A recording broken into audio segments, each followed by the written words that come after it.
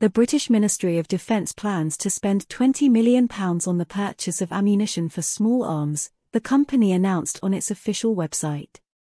The contract for the supply of 5.56mm and 7.62mm ammunition was awarded to BAE Systems and is expected to be completed over the next two years.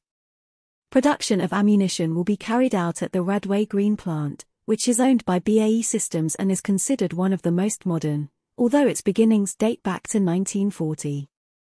The BAE Systems Munitions Director, Glynn Plant, said, We are proud to support the UK MOD as a strategic munitions partner. The significant orders we received during the year have led our teams to increase production rates, invest in staff and new capacity, and maximize the number of work shifts to meet this increased demand. It is noted that the implementation of this order will allow the creation of more than 200 new highly qualified jobs.